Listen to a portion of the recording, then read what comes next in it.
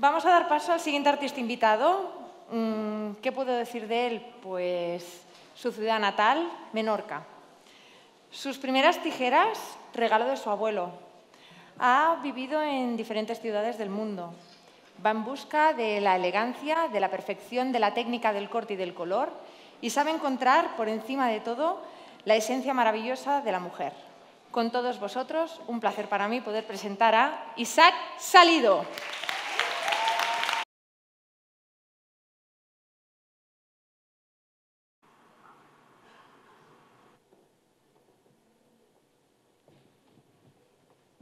Siento como si hubiese caminado mil kilómetros y aún me faltan otros mil por caminar. Me gusta observar el mundo detrás de mis gafas de pasta